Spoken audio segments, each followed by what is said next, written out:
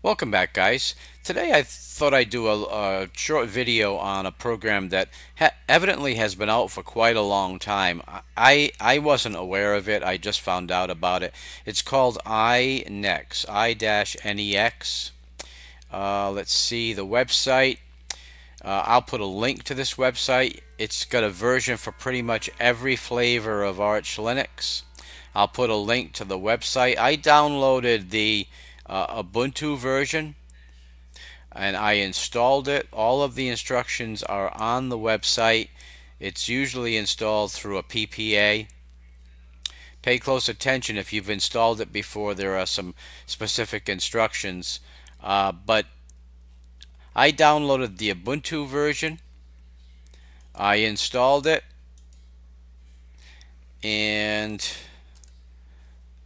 there it is in my applications.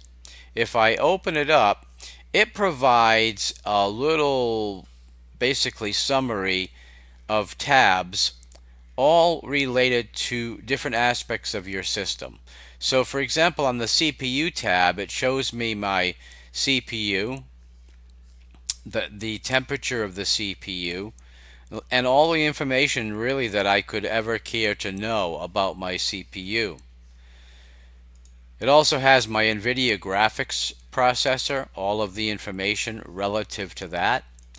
My motherboard, it's got some information, uh, BIOS version 2, American Megatrends. I've got the H97M Pro 4. It's got my audio listings, drivers, codecs, uh, the device itself. Got my drive listings my Linux system information, my kernel information, memory information, network information, and USB devices. This is the my HD Pro webcam. So it's got a lot of different information that uh, all relative to your system. It might prove informative and useful for you. I'll go ahead and put a link to the website uh, which has all the download instructions and you can let me know if uh, if you get any benefit out of this particular little mini utility. So guys that is it for this video. It's the I-Nex system utility. Lots of useful information.